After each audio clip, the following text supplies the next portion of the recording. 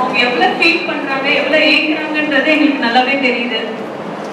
Okay because அவங்க கிட்ட ஒரு பத்து நிமிஷம் உட்காந்து பேசினீங்கன்னா அவங்க ஃபீலிங்ஸ் எல்லாமே சொல்லுவாங்க.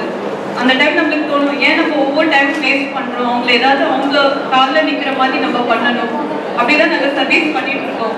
So we are same expecting from you also so நாங்கள் சொல்றது நீங்க நோட்ஸை கூட எடுத்துக்கலாம். எகைன் இந்த கம்ப்யூட்டர்ன்றது ஒரு பெரிய விஷயமே இல்லை.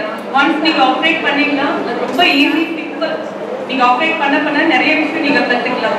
லைக் சிம்பிள் எக்ஸாம்பிள் டிவி நம்ம டிவி ஃபர்ஸ்ட் ஒரு புதுசா வாங்கி வைக்கும் போது ஐயோ இதை நம்ம செக் பண்ணா இல்ல ஆப்ரேட் பண்ணா ரிப்பேர் ஆயிரும் அப்படின்ற மாதிரிலாம் எதுவும் இல்லை. எல்லாத்துக்கும் ஒரு சொல்யூஷன் இருக்கு.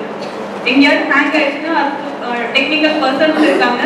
அது சரி பண்றதுக்கு ஸோ நீங்க உங்க ப்ராப்ளம் இருந்துச்சுன்னா தயவு செஞ்சு நீங்களா போய் ட்ரை பண்ணுங்க. எப்படி ஆப்ரேட் பண்ணணும்? இது என்ன இருக்கு? அந்த மாதிரி சிம்பிள் மேனர்ல கொடுத்துருப்பாங்க.